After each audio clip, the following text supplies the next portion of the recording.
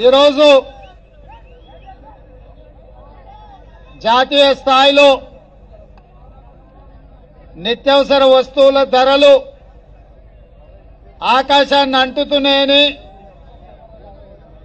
పేదవాళ్ళ బతుకు చితికిపోయి చచ్చిపోతున్న రాష్ట్ర కేంద్ర ప్రభుత్వాలు పట్టించుకోకపోవడం వల్ల దేశ స్థాయిలో శ్రీమతి ఇందిరాగా శ్రీమతి సోనియా గాంధీ గారి నేతృత్వంలో రాహుల్ గాంధీ ప్రియాంక గాంధీ గారితో సహా దేశం నలుమూలలో పాదయాత్ర చేయడం ద్వారా రాష్ట్ర కేంద్ర ప్రభుత్వాలకు నిరసన తెలపాలని ఏఐసిసి ఆదేశాల మేరకు కాంగ్రెస్ పార్టీకి అచ్చొచ్చిన నేల కాంగ్రెస్ పార్టీని ఆశీర్వదించిన నేల చేవెళ్ళ గడ్డ కాంగ్రెస్ అడ్డా అని దేశ విదేశాలలో కాంగ్రెస్ అభిమానులందరికీ తెలుసు. ఇవాళ చేవెళ్ళ చౌరస్తలో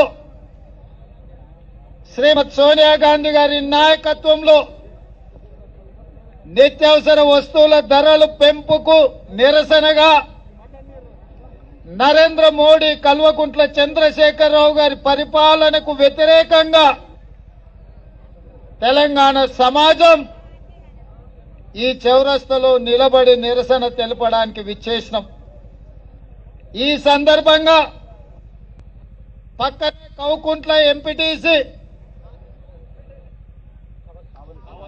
కావలి సుజాత సత్యయ్య ఇతర ఆమె ఎంపీటీసీ ఇతర నాయకులు నిత్యావసర వస్తువుల ధరలు పెంచినందుకు టీఆర్ఎస్కు రాజీనామా చేసి ఇవాళ కాంగ్రెస్ పార్టీలో చేరడం జరిగింది.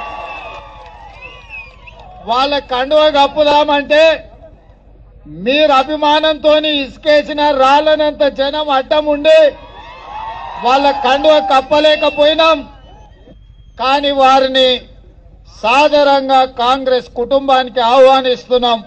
ఈ రోజు నుంచి కాలువ సుజాత కావలి సుజాత కాంగ్రెస్ పార్టీ కుటుంబ సభ్యురాలు మిత్రులారా మీరందరూ కూడా చప్పట్ల ద్వారా స్వాగతం పలకాల్సిందిగా విజ్ఞప్తి చేస్తున్నా.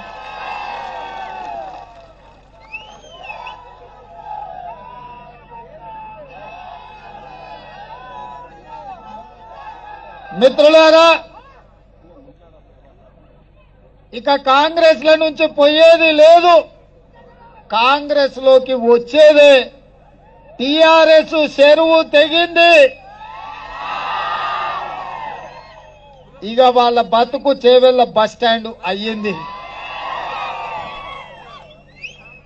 అదే విధంగా ఈ చేవెళ్ళ పాదయాత్రకు శ్రీమతి సోనియా గాంధీ గారి ఆదేశాల మేరకు మధ్యప్రదేశ్ మాజీ ముఖ్యమంత్రి రాజ్యసభ సభ్యులు ఉమ్మడి ఆంధ్రప్రదేశ్కు చాలా కాలం బాధ్యత నిర్వహించి కాంగ్రెస్ పార్టీని అధికారంలోకి రావడానికి వ్యూహం బండిన పెద్దలు దిగ్విజయ్ సింగ్ గారు ఈ రోజు చేవెళ్ళ పాదయాత్రలో పది కిలోమీటర్లు నడవడం జరిగింది.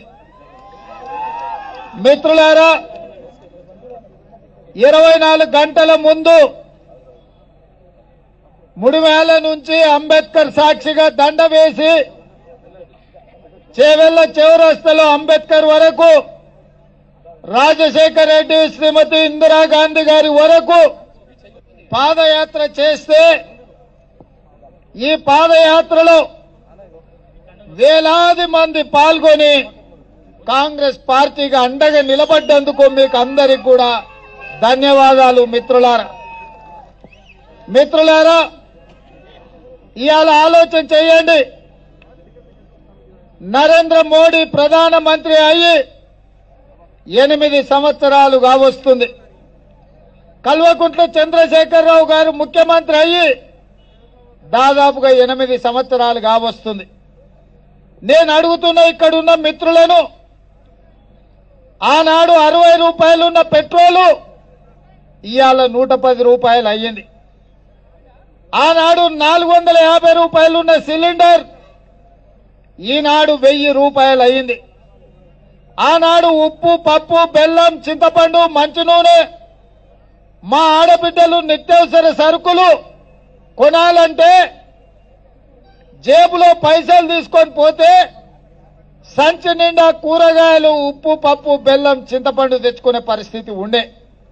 కానీ ఇవాళ సంచి నిండా రూపాయలు తీసుకొని పోతే బజార్కు జేబు నిండా కూడా కూరగాయలు తేలేని పరిస్థితి. ఇవాళ ఈ ఇద్దరు తోడు దొంగల రాజ్యంలో మనల్ని దోసుకుంటున్నారు మిత్రులకు గుర్తుండాలి. నరేంద్ర మోడీ చెప్పిండు.